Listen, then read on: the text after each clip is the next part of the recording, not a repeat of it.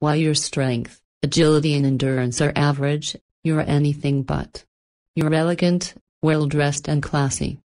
People are delighted to be in your company and feel comfortable around you.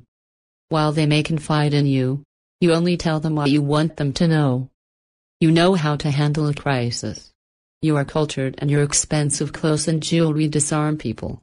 They often underestimate your intelligence, street smarts, and ability to focus on your objective.